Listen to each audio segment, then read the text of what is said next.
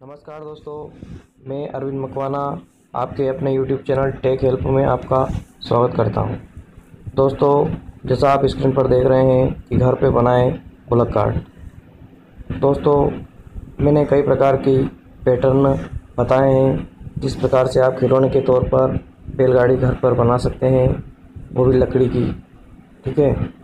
तो ये कई प्रकार के पैटर्न दिखा रहा हूँ कि वह आप बना सकते हैं। एक मैंने वीडियो बनाई है घर पर बनाई है बैलगाड़ी।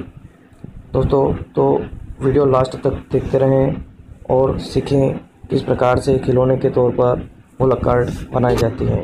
इसके पहले आपसे कहना चाहता हूँ, यदि आपने अभी तक हमारे यूट्यूब चैनल टेक हेल्प को लाइक शेयर सब्सक्राइब नहीं किया तो प्लीज़ कर लें और साथ ही नोटिफिकेशन बेल आइकॉन को दबाना ना भूलें दोस्तों, ताकि लेटेस्ट अपडेट वीडियो मिलते रहें।